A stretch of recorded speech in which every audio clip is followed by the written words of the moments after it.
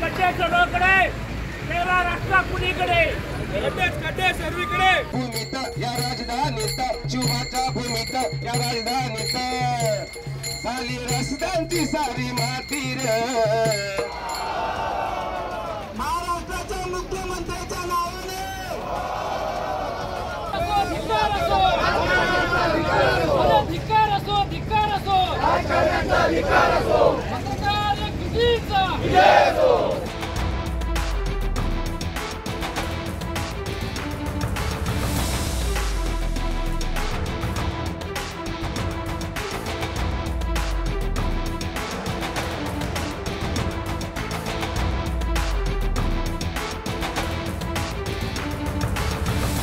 गेले सतरा वर्ष हे आंदोलन चालू आहे पत्रकारांचं.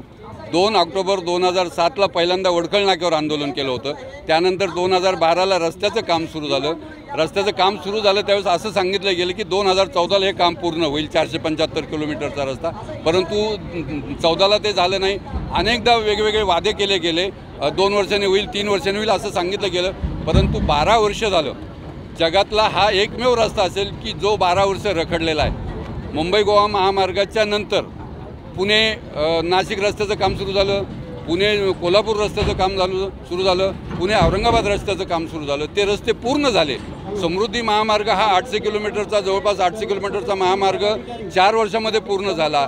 नितीन गडकरी असं सांगतात की विक्रमी रस ए- शंभर किलोमीटर आम्ही एका दिवसामध्ये रस्ता करतो. परंतु चारशे पंच्याहत्तर किलोमीटरचा हा रस्ता आज बारा वर्ष झाल्यानंतरही जर पूर्ण होत नसेल तर मला असं वाटतं त्याच्यामध्ये सरकारची उदासीनता कोकणाकडं पाहण्याचा नकारात्मक दृष्टिकोन आणि कोकणातल्या लोकप्रतिनिधींची निष्क्रियता ही कारणीभूत आहे. त्यामुळे या रस्त्याचं काम रखडलेलं दिसतं आहे या पत्रकारांचं हे आंदोलन सातत्याने यापुढं देखील चालू राहणार आहे. सरकारने असं सांगितलं आहे आम्हाला की गणपतीपूर्वी एक लाईन सुरू करणार आहोत आम्ही. जर पंधरा सप्टेंबरपर्यंत हे जर आंदो पूर्ण झालं नाही तर पंधरा सप्टेंबरला सगळ्या कोकणातल्या लोकप्रतिनिधींच्या घरासमोर जाऊन आम्ही भजन आंदोलन करणार आहोत आणि सरकारचा या निमित्तानं निषेध करणार आहोत.